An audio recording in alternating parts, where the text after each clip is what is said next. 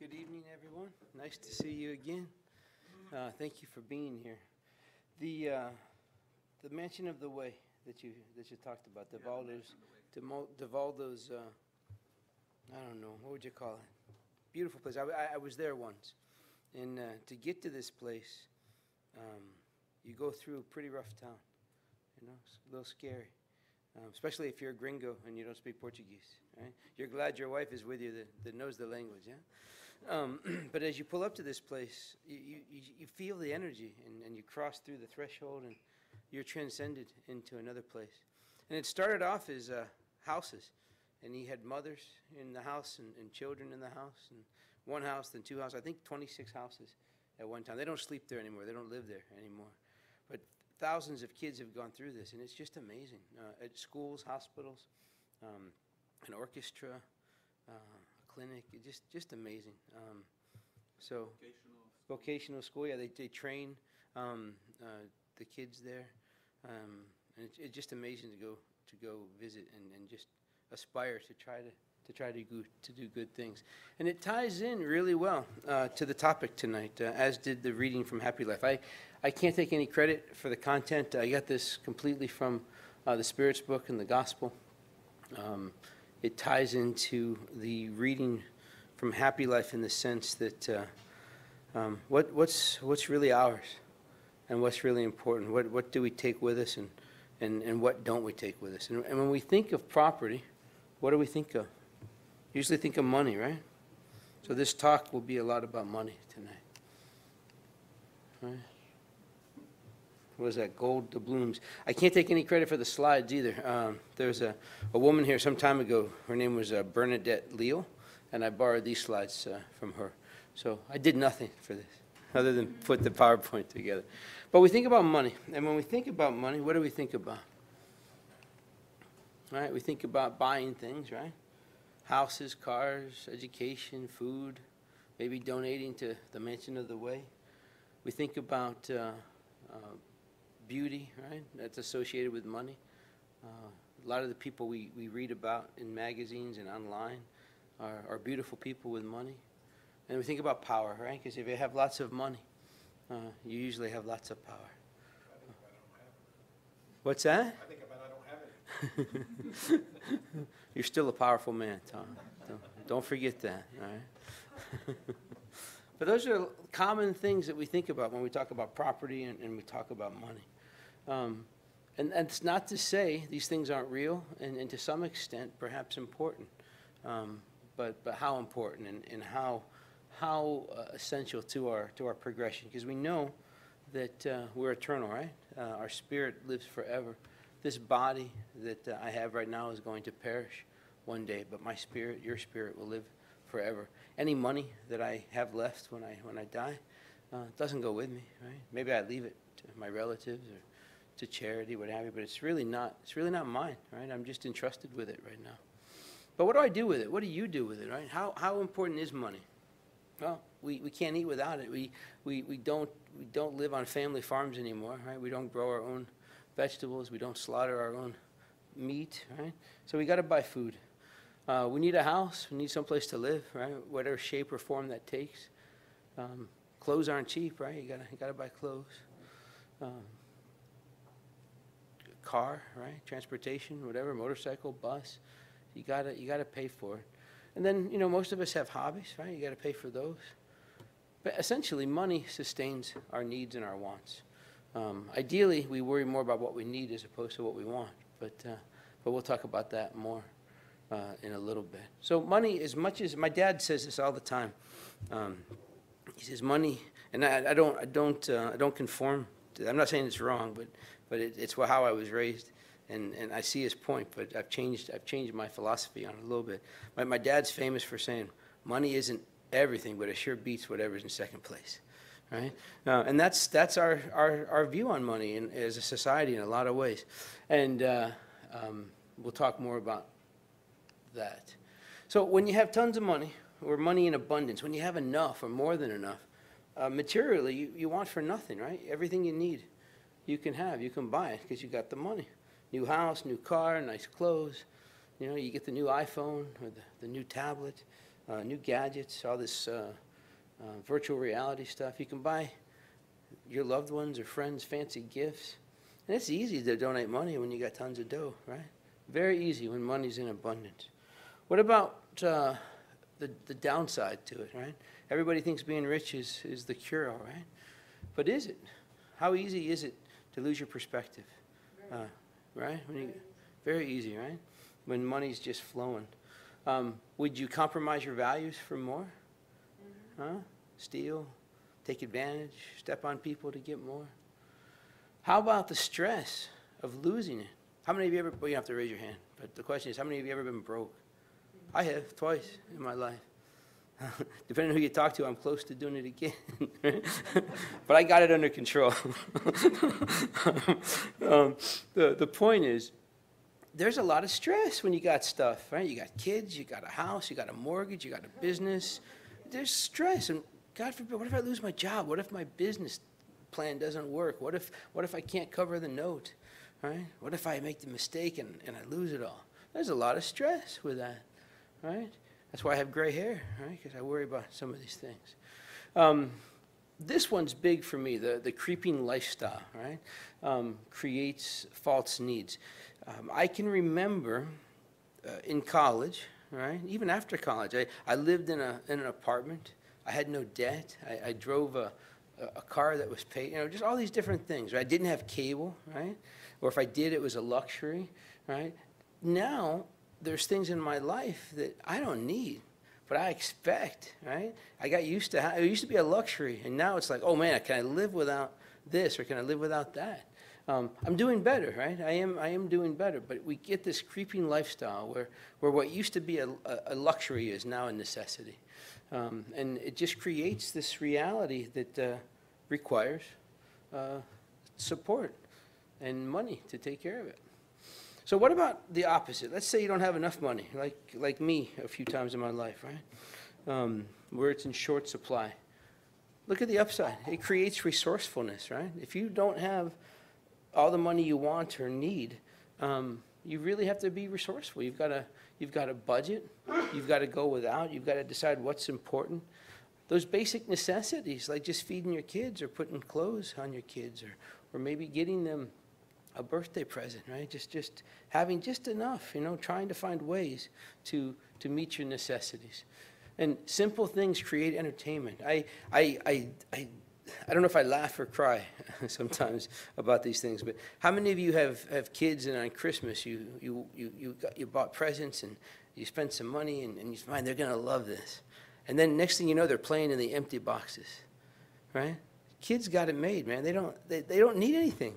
Give them an empty box and some, and some wrapping paper, and they build castles or forts or, or things, right? They don't need a whole lot, right? Simple things create entertainment. When I was a kid growing up in Miami, my dad uh, worked two jobs to, to, support us. I remember not seeing him during the week. I would, uh, I would be asleep when he left for his first job, right? And I'd be asleep again when he got home from his second job. On the weekends, though, we hung out, right? On Saturdays, he'd take me to Miami International Airport. We didn't walk around the, the terminal or park the car in, in, the, in the parking garage. We'd, we'd sit on the side of the access road, and he had this little radio that would pick up the tower, air traffic control, or the pilots. There's two different channels, right? And we'd just sit there. We'd watch the planes, and, and we'd listen to the air traffic control, talk to the pilots. That was so cool. It was so much fun. So a simple thing. It took a little bit of gas and a lot of time, right? Just hanging out with my dad. But that was awesome. I thought that was great, right? Um, and then obviously uh, mom still tells stories about how, how she, she stretched a dollar, right? Because uh, she had four kids and, and uh, you know, she had to create priorities. So when it's in short supply, it can really bring out the best of us, right? Or can it, uh, can it bring out the worst, right? The stress we talked about. If you don't have enough money to pay the rent, right? Uh, you got to worry about the landlord knocking on the door with a, with a pink slip or, uh, you know, an eviction notice. Um, if you don't have enough money, uh, you can't necessarily apply to schools. You can't necessarily have access to opportunities. Maybe you have to, to, to go out of state for an interview, uh, but you can't buy the airplane ticket, right? You don't have the opportunities if you don't have cash. Um, healthcare is huge, right? We spend a fortune on healthcare in this country. Um, and if you don't have the cash, um, you, you don't have the insurance. Very difficult, right, if you don't have the money. Um, services, uh, you don't have the same access. And, and I, I remember being broke and, and not thinking very highly of myself, right? I had a very low self-perception. My esteem was lowered for a little bit. Then I got back on my feet, right? But you don't, you don't think uh, as good about yourself if you don't have money. And then um, I haven't resorted to this, but, but the temptation is there, right? If you don't have enough money, what will you do to feed your kids? What will you do to, uh, to get money, right? It can lead to all kinds of things. Think about all the, all the crazy things you read about people doing, right? Schemes that make millions or, or try to make millions. And you think about the folks doing those things, if they took the same brain power and applied it to good, imagine how much they could accomplish, right? Um, but um, money in short supply has, you know, pros and cons, just, uh, just like uh, having too much. And, and, and here's the simple question, right? With, with or without money, would you agree we face the same challenges? We have the same needs, right? We got to eat, we got to sleep, we need a house, we need transportation. Um, so, do you think money is the root of all evil, or, or does necessity breed in for in, in innovation? Which side of the argument do you land on? And there's an argument to be made for either sides of those coins. Um, so let's talk about money uh, being the root of all evil. You, I can remember as a kid people quoting the Bible, right? Supposedly, money's the root of all evil, right? And I thought that. I said, well, money must be bad. Um, but is it? What, what does the Bible, the Old and the New Testament, we'll look at a couple of scriptures here.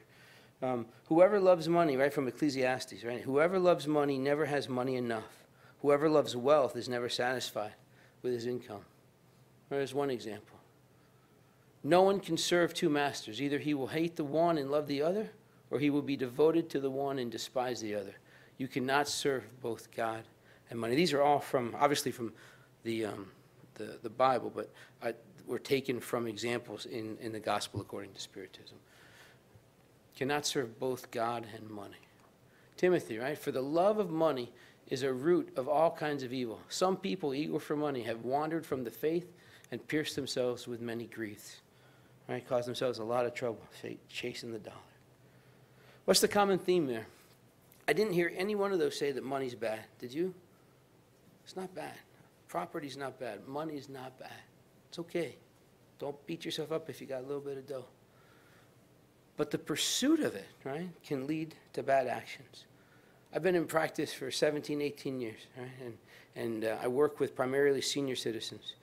And I've seen, I've seen all kinds of abuse out there towards gra- uh, grandma and grandpa, right? But, but um, what I've noticed in my career um, is if I was chasing money, if I was doing things for the money, it opened the door to temptation. And I, and I always caught myself. And I also realized that as long as I was chasing it, um, I never had enough. So I've been, it's been really easy for me not to take advantage of people in pursuit of money. I'm, I'm happy for that. But it, it has the potential, right? If, if you really are chasing money, you can, do, you can do all kinds of stuff to give it. It also said in there, right, that our love leads us astray.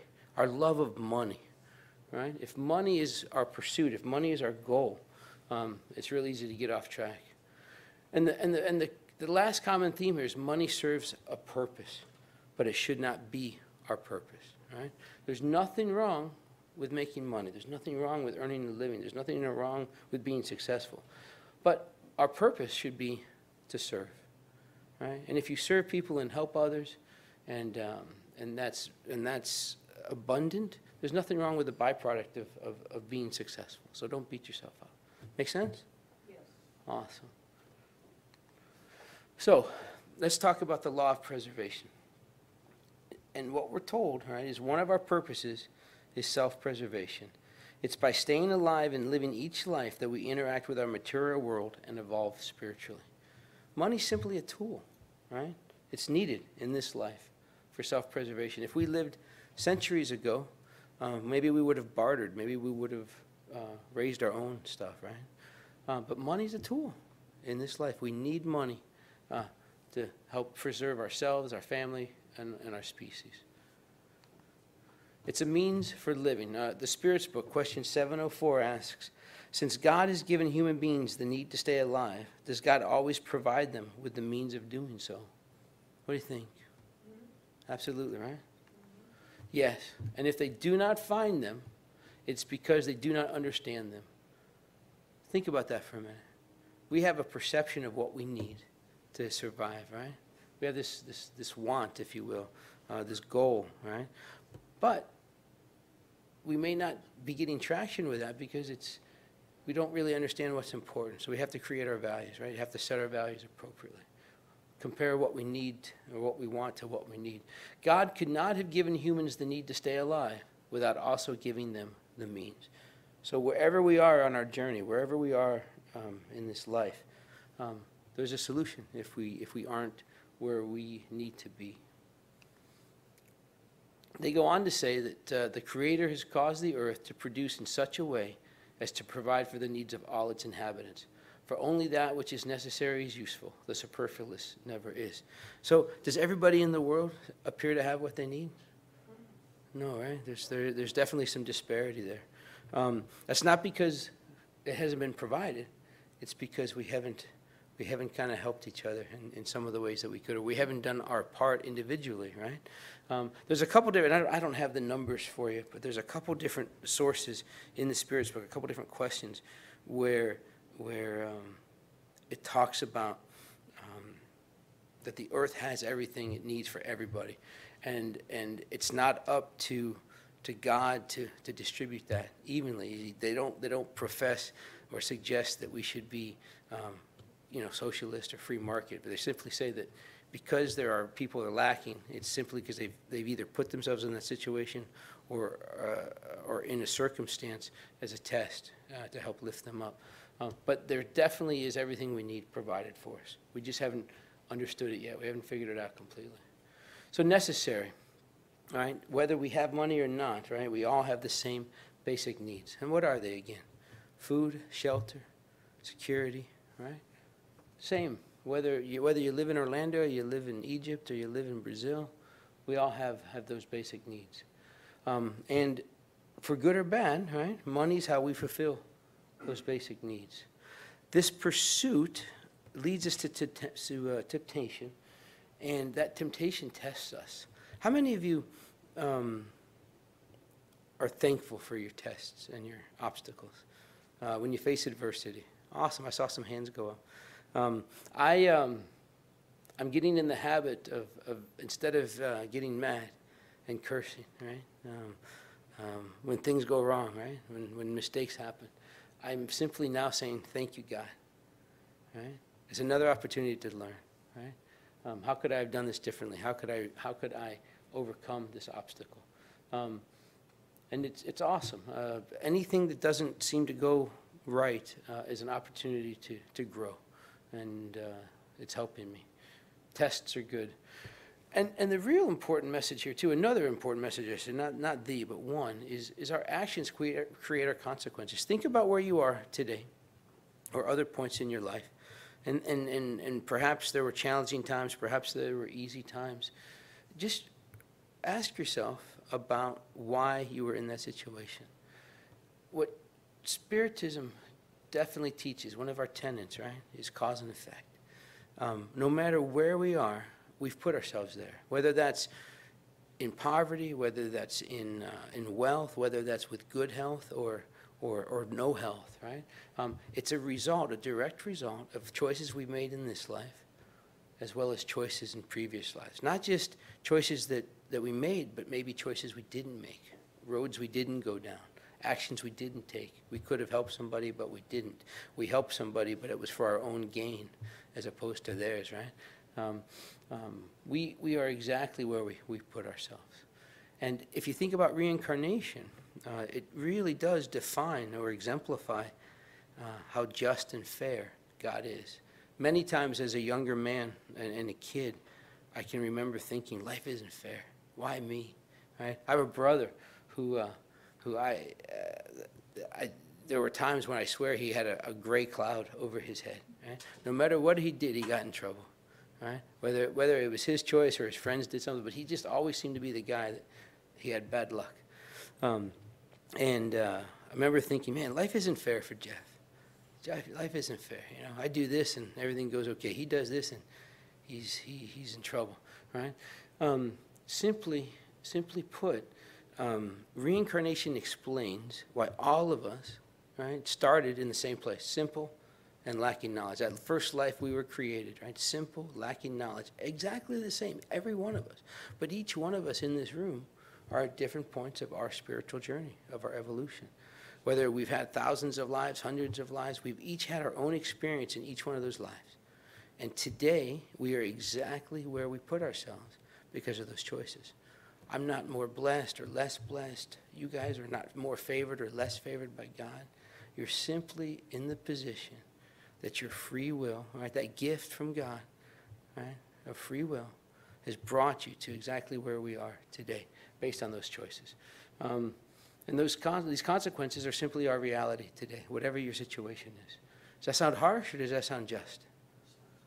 You sure? All right, good. I, I don't want to mess up. You know, there's a lot of people here tonight. Whew. All right, so I think a visual is in, in order, right? Again, our friend Mrs. Leal, or Dr. Leal, actually, I think. Um, I love this, right? I want, right? What do we want? We want a lot of stuff, right? Versus I need, right? And it's a, it's a matter of balance, balancing. There's nothing wrong with wants. It's okay to desire and, and want things. But what do we really need and, and what's excess? And we all make that definition ourselves, right? We all have our own free will. We all have our own um, understanding of that. Um, but there's definitely a point where we want more than we need, we consume more than we need, and it creates excess. And that leads to, to problems typically. All right, what, I got two more hours? Yeah, okay. I just want to make sure, I don't, I don't want to, I don't want to go too fast. So question 711 is this, right? Is the use of the fruits of the earth a right of all humans? In other words, the fruits of the earth, right? We all get up in the morning and we do what we do, right? We earn a living, we, we study, whatever, whatever it is. Do we have the right then to decide how we're going to enjoy it, right? Can we, can we, can we, is that considered a right? Are we being, are we being um, selfish if we want to enjoy those things? And the answer um, is, is, is not a yes or a no. It's that the right is simply a consequence of the need to stay alive, right? God would not impose a duty without granting them the means to fulfill it. So you have a responsibility to survive, right? To persevere. You have a responsibility to interact with society. You can't you can't exit and go live under a bridge or on a deserted island so you don't have to deal with people, right? You have a, we're a social society, so we have this duty to interact. That's how we grow. That's how we help other grows. And in the process of living this life, uh, a consequence of, of this need to stay alive, um, we have the means to fulfill it by enjoying the fruits of the earth, um, however, whatever form that takes. Question 712 asks, well, okay then, towards what end has God made the enjoyment of material things attractive? Um, in other words, there's, there's some things out there that are really, really uh, out there, right? What, what, what, what, to what end? Why are some of these things attractive? Because there's things that you are drawn to that aren't necessarily healthy. There's things that you are drawn to that are bad for others or for yourself, but they feel good, right? Right? And the answer is awesome, right? To drive humans to the fulfillment of their mission, which is to survive and thrive and grow, but also to test them with temptation, right? So you all of a sudden uh, come into a lot of money, or years of hard work pays off and you're successful financially. All of a sudden, you can do whatever you want, right? You have unlimited funds, right? Access to all kinds of things. What do you choose? Do you give in to vice? Do you give in to addiction? Do you take advantage of, of others for your own enjoyment? Right? Because now you have the money. You can, you can, you can buy whatever, whatever hobby you want. Right? So you're tempted. Right? Or do you avoid those things and, and still stay the path and follow the light? That's a great answer to that question. There, it, it's not a yes or a no. Question uh, 712, uh, the follow-up, right, is, is the purp what is the purpose of such temptation? Why, why does God do this to us? Right? Why doesn't he just make it easy? Right? What's the purpose? What do you think? You know. Yeah. To test them, to develop their reason, right? Because there's one thing to have a thought and be attracted to, to a certain path. Then there's another reaction or an intuition, right? We were born kind of with the law right here in our conscience, right? We, how many of you never know if you're doing something wrong? Come on, be honest. You know, right? I know. Well, most of the time. Sometimes I don't. Nah. Well, how does it go? right? Buzzer, wrong answer. We know, we know right from wrong. Especially, especially if you're studying, right? If you've, be, if you've been coming to a place like this, uh, weeks and years, and you read some of this stuff, and you educate your soul, right? You know. That's what stinks for me, right? Because I've been studying now for a while. I don't know, 14, 15 years. I've been coming here for, for almost 11 years now. Gabriella, my oldest, just turned 11, and we were here when she was in a, in a you know, a bassinet almost, you know, six months old, I think, maybe younger, right? What stinks for me now is I still do things wrong. I still make mistakes, you know? I know, that surprises you, right? I know. It, should, it shouldn't. It shouldn't.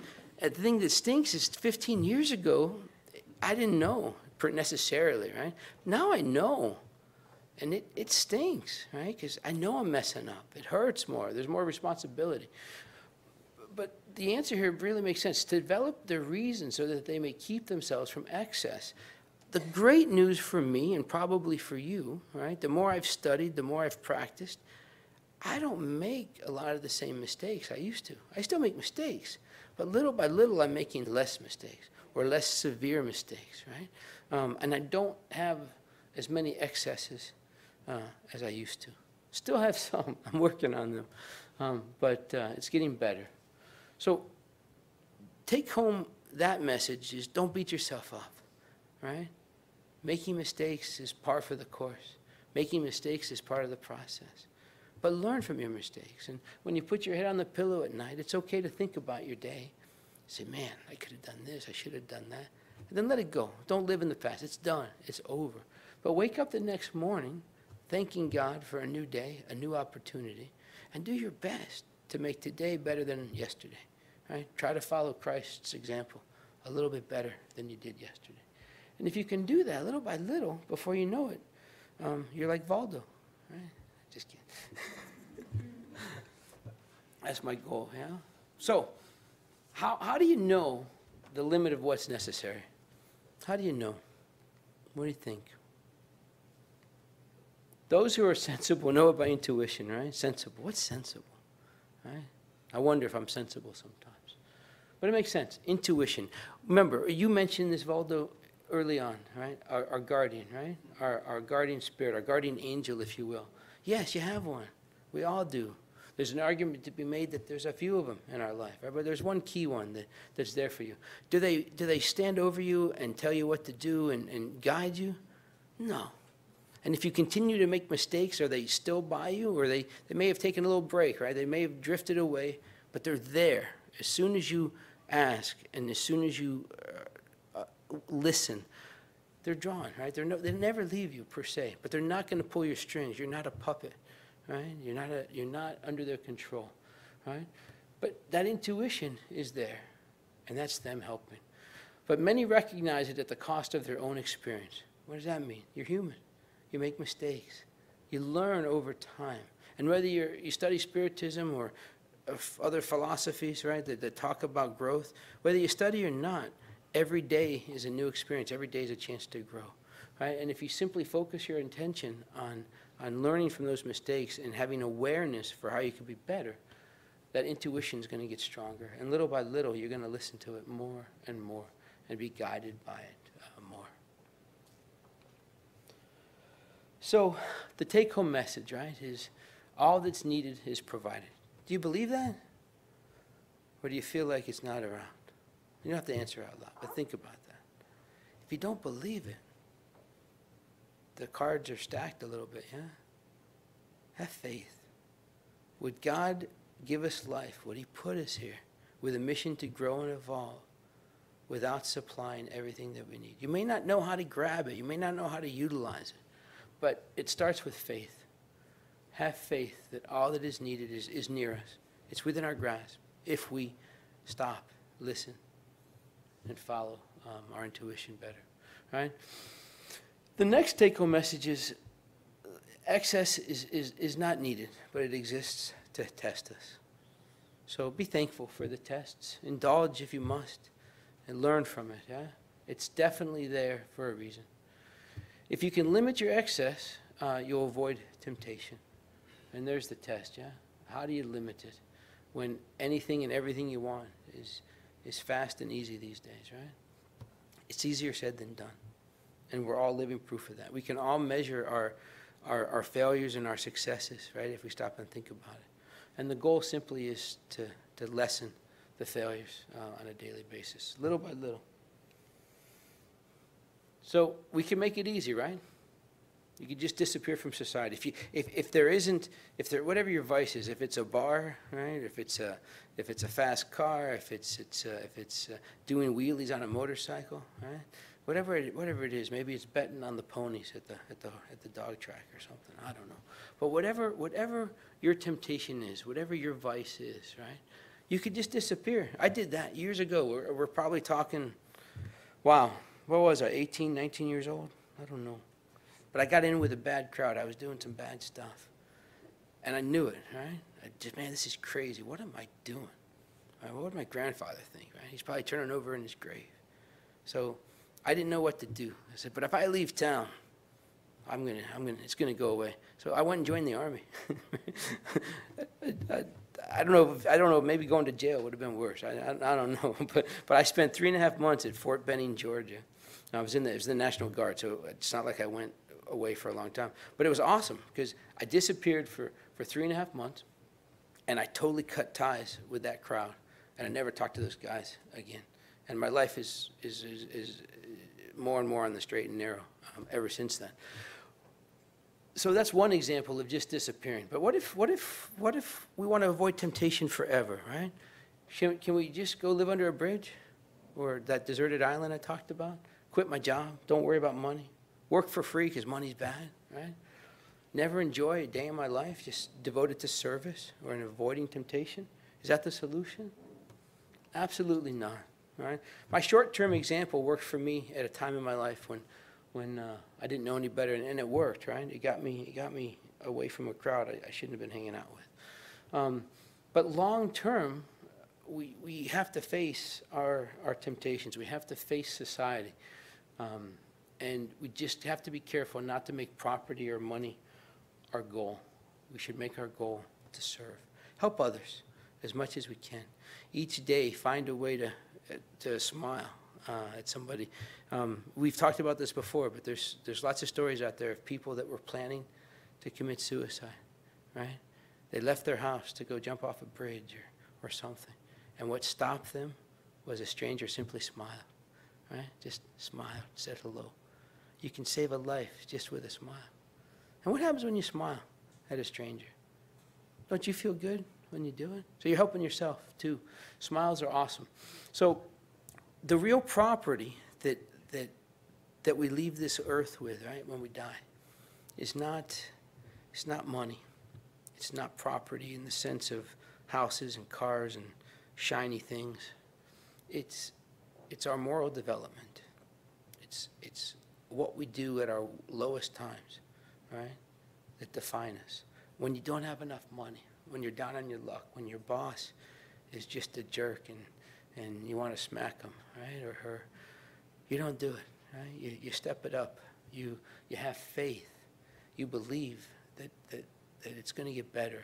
And you find ways to make it better within the confines of the law, within the confines of, of, uh, of moral uh, uh, uh, examples like Christ gave us. You turn the other cheek, you love your enemy. That doesn't mean you invite him to dinner, right? And you don't have to give him a hug and, and, and let him in, right? But you pray for them. You wish them success, right? You forgive them for their adversity that they've given you, um, and you don't hate them. You love them. And you try your best to serve your fellow man, just like Christ did when he walked the earth, right? That's all it takes. it's that simple, right? It sounds so easy sometimes, but it's so hard. But make your goal to serve. And as much as you can, try to detach yourself from your. I'm at a point now where, where, where don't get me wrong, I love my house, I like my car, um, I, you know, I like my hobbies and whatever. But, but the cool thing for me, where I, where I feel like I'm growing, is if it were all taken from me today, and I had my wife and my babies, right, and my health, I'm okay. I'll start over. I can always make more money. You know, it's okay. All right? And if I don't make more money, I, I, that's okay. I, I, I'll make it work, right?